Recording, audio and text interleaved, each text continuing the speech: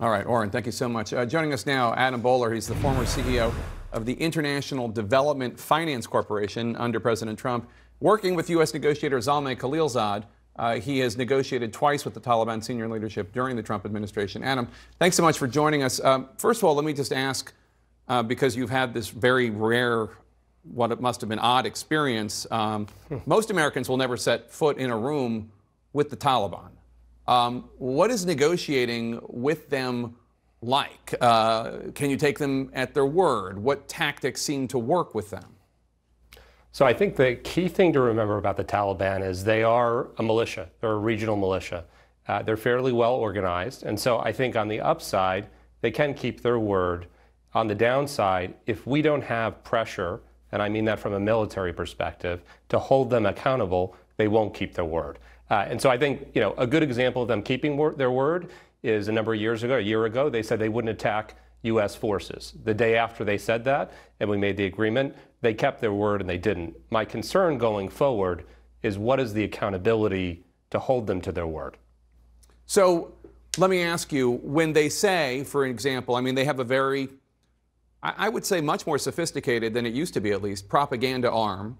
And they'll say, the Taliban will say, you know, all is forgiven. If you work with the Americans, we're not going to hold you account.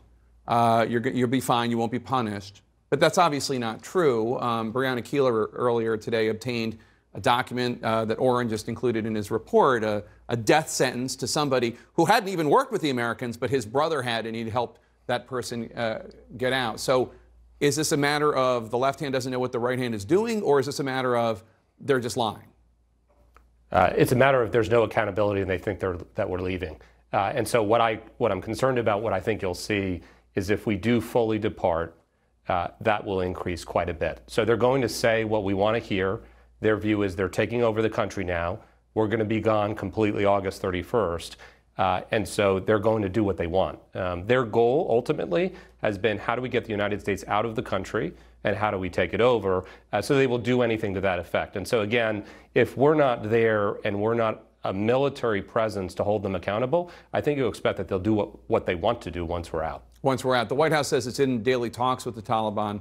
Uh, they're, they're not planning to have President Biden negotiate with them uh, directly. Uh, do you agree with that decision? Yeah, I don't think the President of the United States needs to negotiate directly with a militant group. So people involved with evacuation efforts tell me that the Taliban are refusing to let people through uh, to get to the airport uh, unless they're American citizens or green card holders. So, so, that, that means that the special immigrant visas, the SIVs, the Af Afghan allies, can't get through. Um, does that surprise you? It doesn't surprise me based on this date. I mean, here's my suggestion. I think there's a couple things to remember. Number one, I don't care what political administration we're in.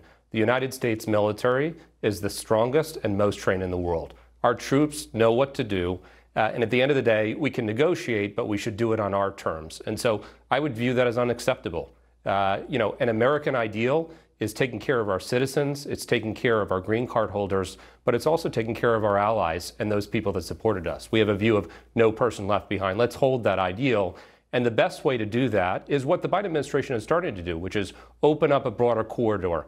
Don't just locate around the airport in Kabul. It's time for us to be more aggressive and take the advantage. Uh, and let's do what we need to do in order to ensure that both United States citizens, but also our allies, are taken care of under any cost. And we have the force and strength to do that. Our troops can do that. We're the best military in the world. Adam Boehler, thank you so much. Appreciate your time today, today sir.